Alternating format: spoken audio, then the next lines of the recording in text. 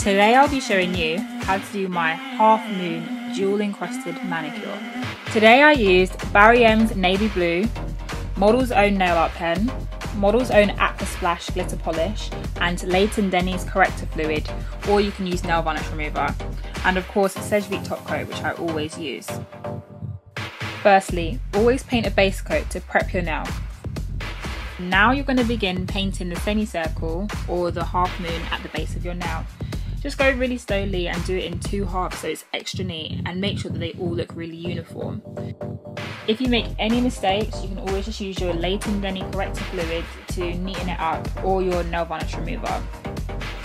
Now you're going to paint on your base colour, going as close to the black line as possible without going over it of course.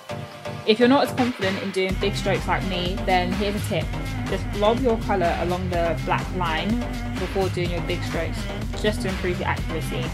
And of course, if you do make any mistakes, then you can just grab your Leighton Denny corrector fluid or your nail polish remover or whatever and just wipe them away.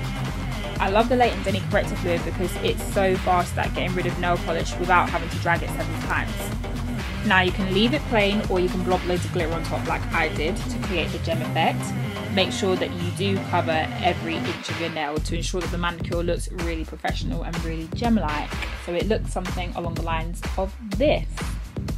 You're then going to put on your top coat, ensuring that you emphasize putting a lot at the empty part of your nails so that it's all really even and you know looks like a manicure as opposed to like this bumpy thing.